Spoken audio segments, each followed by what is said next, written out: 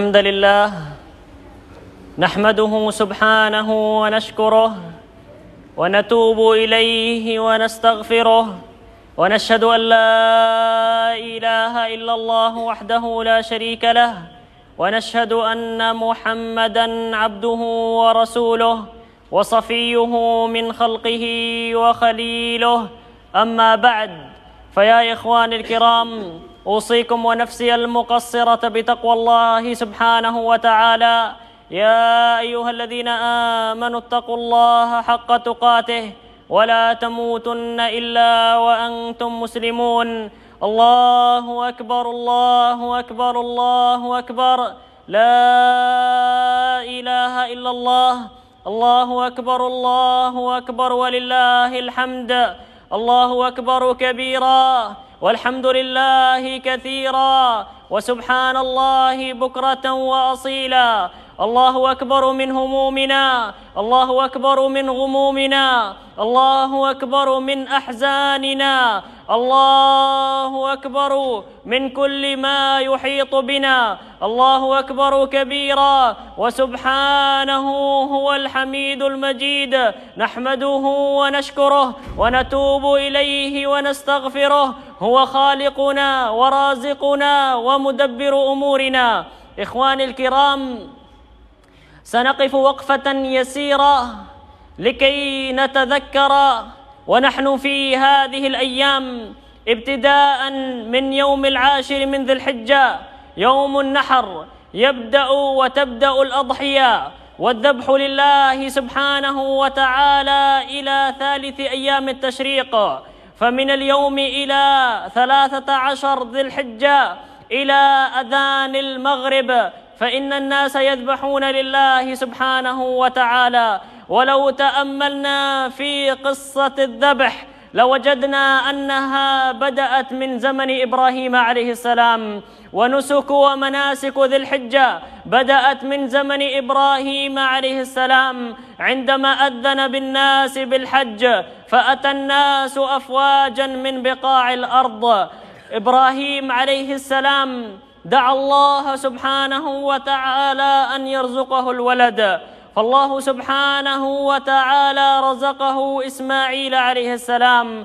فقال إبراهيم كما ذكر الله سبحانه وتعالى في سورة الصافات وقال إني ذاهب إلى ربي سيهدين. ترك قومه وترك دياره متوجها بقلبه وفؤاده إلى الله فنحن عندما نعبد الله ونذبح لله فلا بد أن نتذكر المعنى القلبي وتعظيمنا لله سبحانه وتعالى. ذلك ومن يعظم شعائر الله فإنها من تقوى القلوب. وقال إني ذاهب إلى ربي سيهدين. رب هب لي من الصالحين. فورا تأتي الإجابة. فبشرناه بغلام حليم. ليس فقط غلام أيضا من صفاته أنه حليم. فلما بلغ معه السعي قال يا بني عندما بلغ معه السعي أي أنه بدأ يمشي ويركض ويلعب أمامه قال يا بني إني أرى في المنام أني أذبحك. رأى إبراهيم عليه السلام في المنام ورؤيا الأنبياء حق أنه يذبح ابنه. فانظر ماذا ترى. يسأل ابنه ماذا نفعل يا بني؟ ماذا ترى؟ ماذا قال الابن المستسلمون لله سبحانه وتعالى؟ قال يا أبت افعل ما تؤمر ستجدني إن شاء الله من الصابرين. يا أبتي أطع الله سبحانه وتعالى. ستجدني من الصابرين على طاعة الله. والمستسلمين لأمر الله سبحانه وتعالى. فلما اسلم ليس هو فقط أسلم لله بل حتى إسماعيل أسلم لله سبحانه وتعالى. فلما اسلم وتله للجبين وناديناه أن يا إبراهيم قد صدقت الرؤيا. إنا كذلك نجزي المحسنين إن هذا لهو البلاء المبين وهنا تأتي وفديناه بذبح عظيم وتركنا عليه في الآخرين سلام على إبراهيم إنك إنا كذلك نجزي المحسنين فنتعلم من هذه القصة أننا نستسلم لله نحن وأولادنا ونفدي أنفسنا لدين الإسلام ونضحي من أجل رفع راية الإسلام ومن أجل التقديم ومن أجل الأعمال الصالحة ونشر الخير في كل مكان. فإبراهيم عليه السلام هو الوحيد الذي ورد عنه أنه يأتي بقلب سليم. وردت هذه الصفة المركزية فيه وأنه مستسلم أمره لله سبحانه وتعالى. فنسلم أمرنا لله ونطيع الله سبحانه وتعالى. وأقول قولي هذا وأستغفر الله العظيم.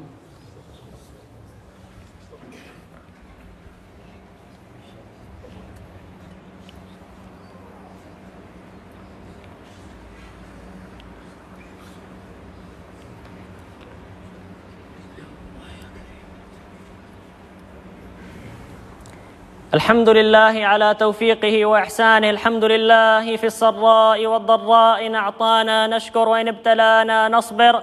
ونشهد أن لا إله إلا الله وحده لا شريك له. ونشهد أن محمدا عبده ورسوله. الله أكبر الله أكبر الله أكبر. لا إله إلا الله الله أكبر الله أكبر. ولله الحمد.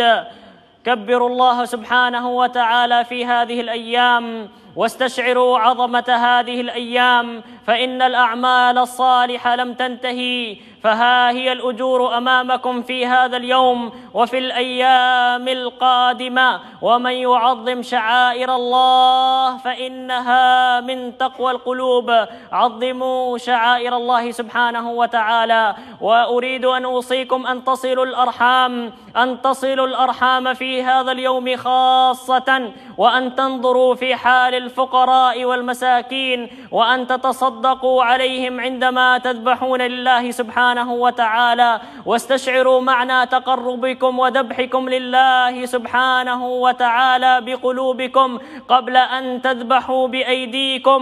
أنكم تذلون أنفسكم لله وأنكم تكسرون أنفسكم لله وأنكم عباد لله سبحانه وتعالى.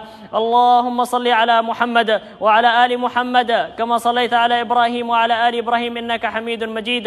اللهم بارك على محمد وعلى آل محمد. كما باركت على إبراهيم وعلى آل إبراهيم إنك حميد مجيد. اللهم اهدنا فيمن هديت وتولنا فيمن توليت وعافنا فيمن عافيت وبارك لنا اللهم فيما أعطيت. اللهم نسألك التقى والهدى والعفاف والغنى. اللهم يا مصرف القلوب والأبصار صرف قلوبنا على طاعتك. اللهم نسألك من خير ما سألك به نبيك محمد صلى الله عليه وسلم. ونستعيذ بك من شر ما استعاذ به نبيك محمد صلى الله عليه وسلم. اللهم نسألك من الخير عاجله وآجله ما علمنا منه وما لم نعلم. اللهم نعوذ بك من الشر آجله وعاجله. ما علمنا منه وما لم نعلم. اللهم فرج عن المسلمين في كل مكان في مشارق الأرض ومغاربها. تقبل الله منا ومنكم صالح الأعمال. وكل عام وأنتم بخير. سبحان ربك رب العزة عما يصفون وسلام على المرسلين. وآخر دعوانا أن الحمد لله رب العالمين.